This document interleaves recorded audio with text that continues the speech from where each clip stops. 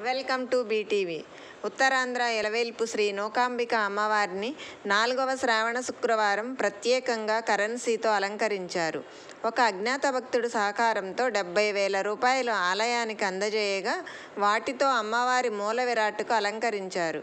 నూకాంబిక అమ్మవారు శుక్రవారం లక్ష్మీదేవిగా భక్తులకు దర్శనమిచ్చారు. అలంకరించిన నగదుతో వెండి పళ్ళెం తయారు చేయించి అమ్మవారి సేవలకు ఉపయోగిస్తామని ఈవో నగేష్ తెలియజేశారు.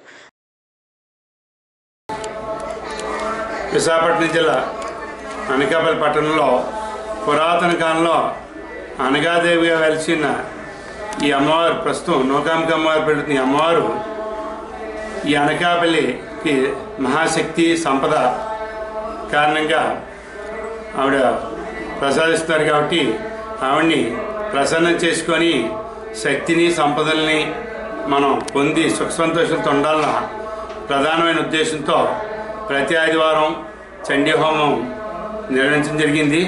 ఆ క్రమంలో భాగంగానే ఈ శ్రావణ మాసం అంతా శుక్రవారం పూట మహాలక్ష్మి హోమం అలాగే ఆదివారం కూడా మహాలక్ష్మి యాగం చేయడం జరిగింది.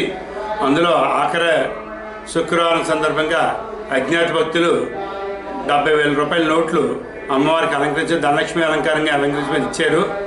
ఈ అలంకరణ అనంతరం యాభై వేల రూపాయలు అమ్మవారి అన్నదానం సత్తు మరమ్మతులకి ఉపయోగించమని వాళ్ళు ఉపయోగించి చేయిస్తా అని చెప్పారు హామీ ఇచ్చారు. ఆ విధంగానే దాంతోపాటు రేపు ఆదివారం ఆఖరా శ్రావణ ఆఖరాదివారం సందర్భంగా లక్ష పసుపు కొమ్ములు అలంకరణ అన్నది నోము పెట్టడం జరిగింది.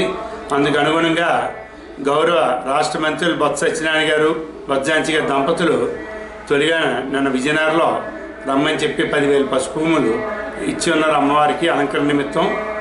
ఈ దాంతోపాటు ఇక్కడ స్థానికంగా వివిధ సేవా సంస్థల భక్తులు కూడా పసుపు ఇవ్వడం మొదలుపెట్టారు.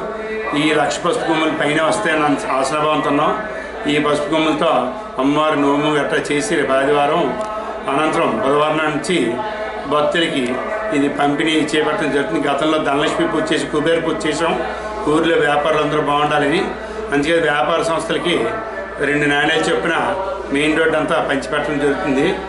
అలా పెదనాలు సెంటర్ నుంచి సంక్రమెట్ వరకు. అలాగే పసుపు కొమ్ములు రెండు నాణ్యాలు గాజులు పంచిపెట్టడం జరుగుతుంది. అనంతరం గురు దేవాలయంకి వచ్చే భక్తులందరికీ ఎంతవరకు వస్తే అంతమందికి ఇవన్నీ విత్తనం చేయడం జరుగుతుంది.